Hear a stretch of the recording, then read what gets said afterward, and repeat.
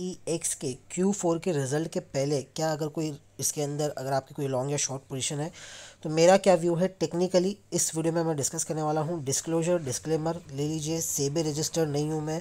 तो जो भी चीज़ कहूँगा, उसको खाली आपको एजुकेशनल पर्पज़ के लिए लेना है। कोई भी बाय या सेल का रिकमेंडेशन नहीं है। मेरे कहने से, मेरे सुनने से ना तो आपको बाय करना है, ना तो आपको सेल करना है।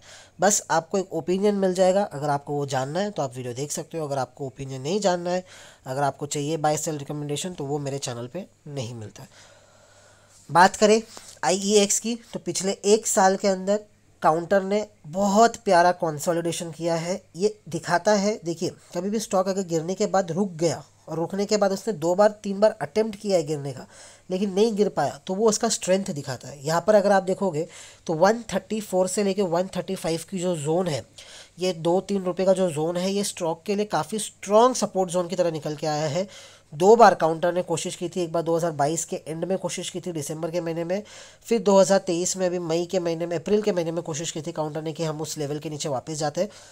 जा नहीं पाया, एक आध दो दिन ट्रेड किया, वापस ऊपर आके क्लोज करना शुरू कर दिया। तो ये तो नीचे का आपको पता चल गया कि मैक्सिमम टू मैक्सिमम रिस्क कितना है। अभी के लिए करंट सिनारियो के अंदर वो है 134 का। हाँ अगर मार्केट ही अपना जो 52 वीक लो है, वो तोड़ देता है और नीचे चला रहा है तो बात अलग है।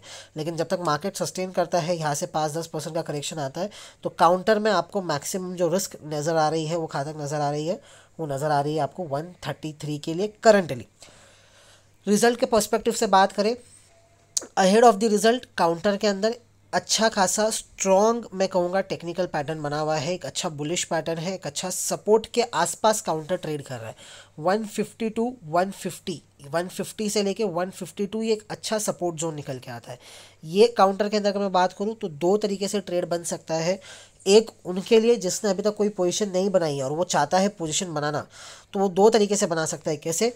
या तो कल रिज़ल्ट के बाद या आज जब भी रिज़ल्ट आता है, रिज़ल्ट के बाद अगर ये आपको 150 से लेके 152 के बीच में मिलता है, उस पॉइंट पे एक बाइंग बनता है स्टॉप लॉस जो आपका होगा मैक्सिमम टू मैक्सिमम वो कितना होगा? 147 146 का। ये आपका स्टॉप लॉस होगा। इसके नीचे का आपको स्टॉप लॉस नहीं रखना है एंड उसके साथ आप ट्रेड को होल्ड कर सकते हो।